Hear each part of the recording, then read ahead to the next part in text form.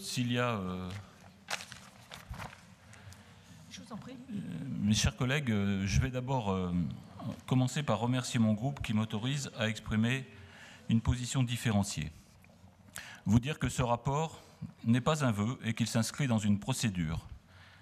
Dire encore que le préfet attend des avis avant de créer le pôle métropolitain et que si la région émet un avis défavorable, le préfet doit inciter à la recherche du consensus, mais comme la région va prendre acte, le préfet va conclure, comme Hervé Solignac l'a fait, qu'il n'y a pas d'avis défavorable.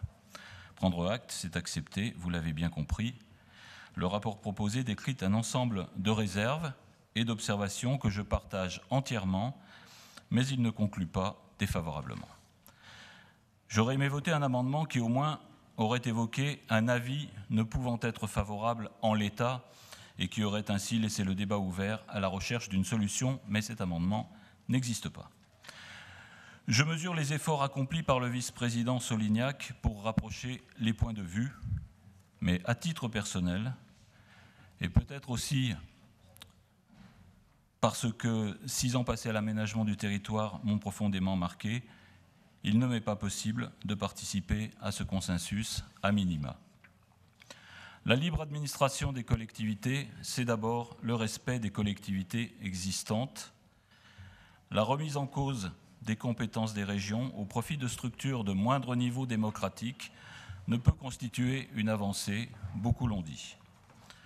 L'organisation territoriale que je défends, c'est celle de régions fortes, équilibrées, équitables et solidaires, équitables et solidaires de tout leur territoire. Et le dépeçage des compétences régionales, l'agglomération des richesses et la prise d'acte du phénomène de métropolisation qui tourne le dos au monde rural, ça ne me va pas.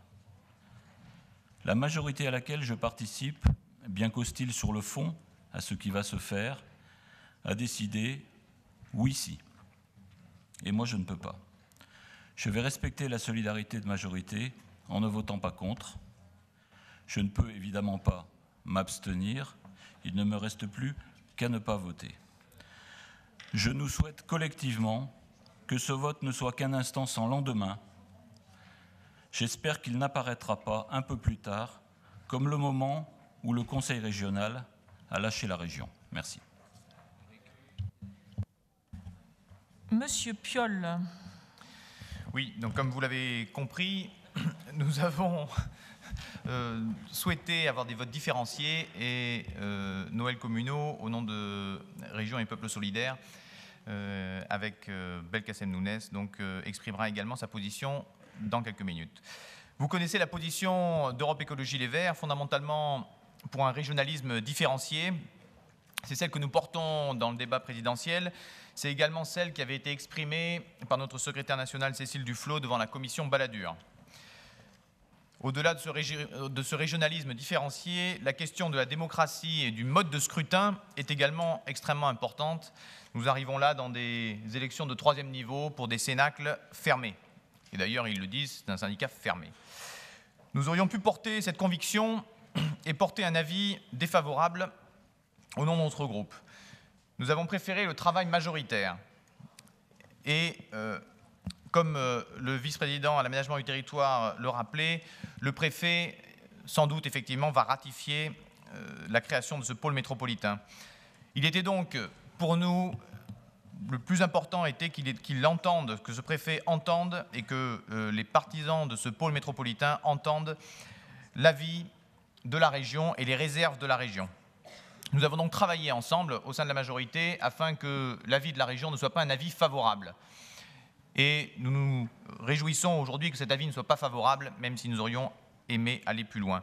Nous nous réjouissons surtout des réserves fortes que nous pouvons porter collectivement et que cette institution peut porter collectivement. C'est bien le plus important dans le débat qui nous a animés ce matin. Et puisque Gérard Collomb a été cité plusieurs fois dans ce débat. Nous nous félicitons également de la liberté des socialistes de cette Assemblée face à l'oukase euh, de ce même Gérard Collomb.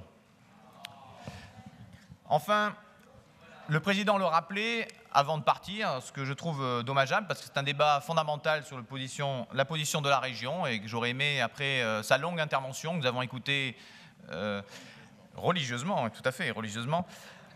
J'aurais aimé qu'il reste pour entendre la fin de nos débats, qui sont tout aussi riches sur un point fondamental, quelles que soient ses obligations extérieures. Mais donc, comme d'autres pôles sont en gestation, j'espère que l'affirmation du fait régional que nous portons aujourd'hui tous ensemble nous permettra la prochaine fois de faire le pas supplémentaire et d'émettre un avis plus clair, un avis défavorable, puisque c'est le, fond du texte que nous portons aujourd'hui. Voilà, et donc je laisse la parole à Noël Communaux au nom donc, de RPS. Monsieur Kovacs. Donc c'est pas Monsieur Communaux alors euh, Écoutez. Ah non mais très bien Madame. Je pense, j'allais d'ailleurs dire que c'était vous qui avez